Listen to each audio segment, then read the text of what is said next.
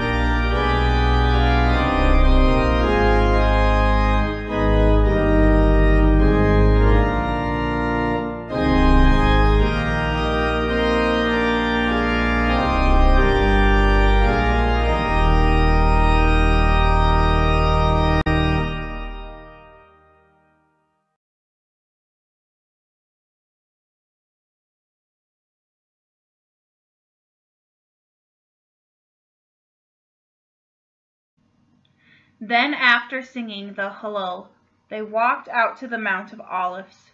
Jesus then said to them, Tonight you will all fall away because of me, for the scripture says, I will strike the shepherd, and the sheep will be scattered. But after I have been raised, I will go to Galilee ahead of you. Peter responded, Though all may fall away because of you, I never will. Jesus replied, The truth is, before the cock crows tonight, you will deny me three times. Peter said, Even if I must die with you, I will never disown you. And all the other disciples said the same. Then Jesus went with them to a place called Gethsemane, and said to the disciples, Stay here while I go over there and pray. Jesus took along Peter, James, and John and started to feel grief and anguish. Then he said to them, My soul is deeply grieving, to the point of death. Please stay here and stay awake with me. Jesus went on a little further and fell prostrate in prayer. Abba, if it is possible, let this cup pass by me, but not what I want, what you want. When Jesus returned to the disciples, he found them asleep. He said to Peter, Couldn't you stay awake with me for even an hour? Be on guard and pray that you may not undergo trial. The spirit is willing, but the body is weak. Withdrawing a second time, Jesus prayed, Abba, if this cup cannot pass by me without my drinking it, your will be done. Once more Jesus returned and found the disciples asleep. They could not keep their eyes open. Jesus left them again, withdrew somewhat, and prayed it for a third time, saying the same words as before. Finally, Jesus returned to the disciples and said to them, Are you still sleeping, still taking your rest? The hour is upon us. The chosen one is being betrayed into the hands of sinners. Get up. Let us be on our way. Look, my betrayer is here.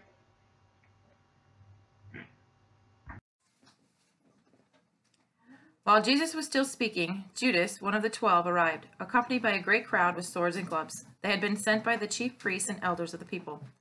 Judas had arranged to give them a signal. Whomever I embrace is the one, he said. Take hold of him. He immediately went over to Jesus and said, Shalom, Rabbi, and embraced him. Jesus said to Judas, Friend, just do what you're here to do. At that moment, the crowd surrounded them, laid his hands on Jesus, and arrested him. Suddenly, one of those who accompanied Jesus drew a sword and slashed at the high priest's attendant, cutting off an ear.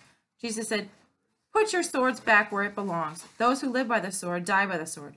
Don't you think I can call on my Abba, God, to provide our over 12 legions of angels at a moment's notice? But then, how would the scriptures be fulfilled which says it must happen this way? Then Jesus said to the crowd, Am I a robber that you have come armed with swords and clubs to arrest me? Every day I sat teaching in the temple precincts, yet you never arrested me. All this happened in the fulfillment of the writings of the prophet. Then all the disciples deserted Jesus and fled.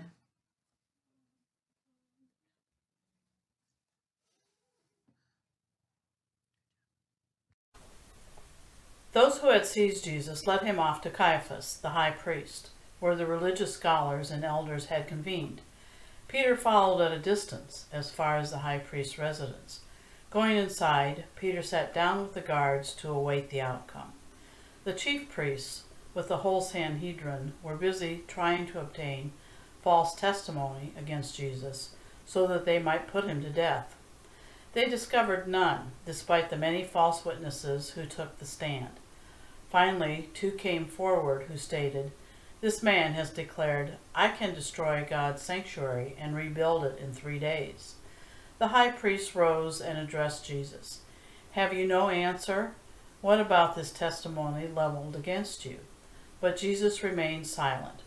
The high priest then said to him, I order you to tell us under oath before the living God whether or not you are the Messiah, the firstborn of God. You have said it yourself, Jesus replied. But I tell you, as soon as you will see the chosen one seated at the right hand of the power and coming on the clouds of heaven. At this the high priest tore his robes and said, Blasphemy! What further need do you have of witnesses? You yourselves have heard the blasphemy. What is your verdict? They responded, He deserves death. Then they spat at his face and struck him with their fists. Others slapped Jesus, saying, Play the prophet for us, Messiah. Who struck you? While this was happening, Peter was sitting in the courtyard. One of the attendants came over and said, You were with Jesus, the Galilean, too, weren't you? But Peter denied it in front of everyone. He said, I don't know what you're talking about. When Peter went out to the gate, another attendant saw him and said to those nearby, This one was with Jesus of Nazareth. Again he cursed and denied it. I don't know him. A little while later, some bystanders came over to Peter and said, You certainly are one of them. Even your accent gives you away. At that, Peter began cursing and swore, I don't know the man. Just then, a rooster began to crow, and Peter remembered the prediction Jesus had made Before the rooster crows, you will disown him three times. Peter went out and cried bitterly. Early in the morning, all the chief priests and the elders of all the people made their plans on how to have Jesus executed. So they bound him, led him away, and handed him over to Pilate the governor. When Judas, who had betrayed him, saw that Jesus was condemned, he was seized with remorse and returned the thirty pieces of silver to the chief priests and the elders. I have sinned, he said, for I have betrayed innocent blood. What is that to us? They replied. That's your responsibility. So Judas threw the money into the temple and left. And then he went away and hanged himself. The chief priest picked up the silver, observing, It's against the law to deposit this in the temple treasury, since it is blood money. After some discussion, they used the money to buy Potter's Field as a cemetery for foreigners. That is why that field, even today, is called Blood Field. On that occasion, what was said through Jeremiah the prophet was fulfilled. They took thirty pieces of silver, the price for the one whose price was set by the children of Israel, and they paid it out for potter's field, just as the Most High commanded me. Then Jesus was arraigned before Pontius Pilate, the governor, who questioned him, Are you the king of the Jews? Jesus replied, You say that I am. Yet when Jesus was accused by the chief priests and elders, he made no reply. Pilate said to Jesus, Surely you hear how many charges they bring against you. But Jesus did not answer Pilate. On a single count, much to the governor's surprise. Now, on the occasion of a festival, the governor was accustomed to release one prisoner, whomever the crowd would designate. At the time, they were holding a notorious prisoner named Barabbas. So when the crowd gathered, Pilate asked them, Which one do you wish me to release for you? Barabbas or Jesus, the so called Messiah? Pilate knew, of course, that it was out of jealousy that they handed Jesus over. While Pilate was still presiding on the bench, his wife sent him a message Have nothing to do with that innocent man. I had a dream about him last night, which had been troubling me all day long. But the chief priests and elders convinced the crowds that they should ask for Barabbas and have Jesus put to death. So when the governor asked them, Which one do you wish me to release for you? They all cried, Barabbas. Pilate said to them, Then what am I to do with Jesus, the so called Messiah? Crucify him, they all said. Why? What crime has he committed? Pilate asked, but they only shouted louder, Crucify him.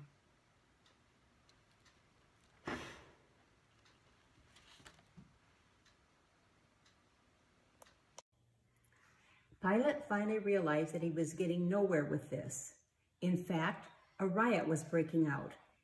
Pilate called for water and washed his hands in front of the crowd, declaring as he did so, I am innocent of this man's blood. The responsibility is yours. The whole crowd said in reply, Let his blood be on us and on our children. At that, Pilate released Barabbas to them. But he had Jesus whipped with cat o' nine tails, then handed him over to be crucified. The governor's soldiers took Jesus inside the praetorium and assembled the whole court around him. They stripped off his clothes and wrapped him in a scarlet military cloak. Weaving a crown out of thorns, they pressed it onto his head and stuck a reed in his right hand. Then they began, began to mock Jesus by dropping to their knees, saying, All hail, King of the Jews! They also spat at him. Afterward, they took hold of the reed and struck Jesus on the head. Finally, when they had finished mocking him, they stripped him of the cloak, dressed him in his own clothes, and led him off to crucifixion.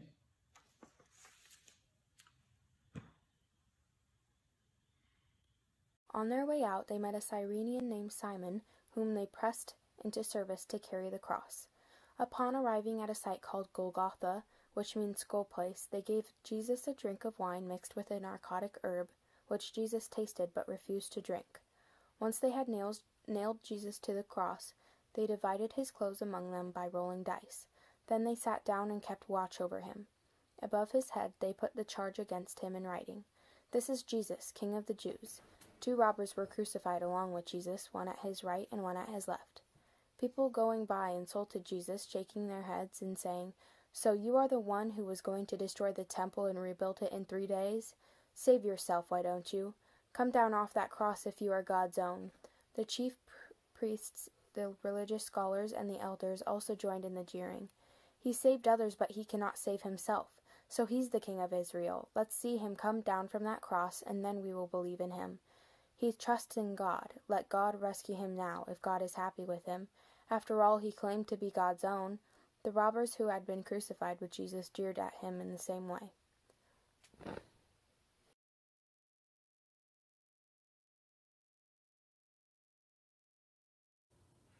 At noon, a darkness fell over the whole land until about three in the afternoon.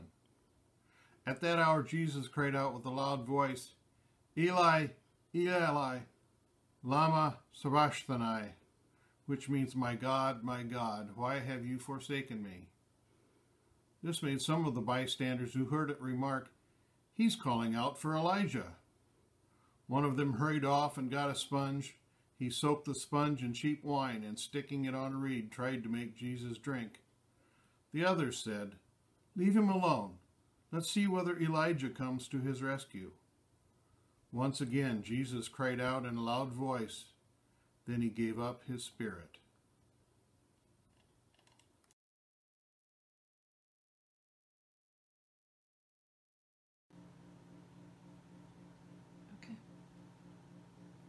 Suddenly, the curtain in front of the Holy of Holies was ripped in half from top to bottom. The earth quaked, boulders were split, and tombs were opened. Many bodies of the holy ones who had fallen asleep were raised. After Jesus' resurrection, they came out of their tombs and entered the holy city and appeared to many. The centurion and his cohort, who were standing guard over Jesus' body, were terror stricken at seeing the earthquake and all that was happening. They said, Clearly, this was God's own.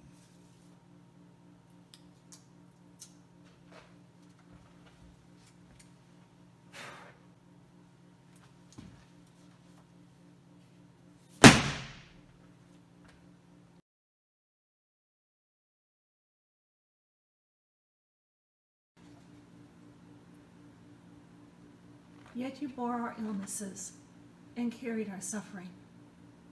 We thought you were being punished, struck down by God, and brought low. But it was for our offenses that you were pierced, for our sins that you were crushed. Upon you lies a chastening that brings us wholeness, and through your wounds we are healed. All of us, like sheep, have gone astray. Each of us goes our own way but Yahweh has laid upon you the guilt of us all. Though treated harshly, you bore it humbly. and never opened your mouth. Like a lamb being led to slaughter, or a sheep before shears, you were silent and never opened your mouth. Seized by force and condemned, you were taken away. Who would have ever foreseen your destiny? You were taken from the land of the living through the sin of my people who deserved the punishment. You were buried with evildoers and entombed with the rich, though you had done no wrong, and deceit was not found in your mouth.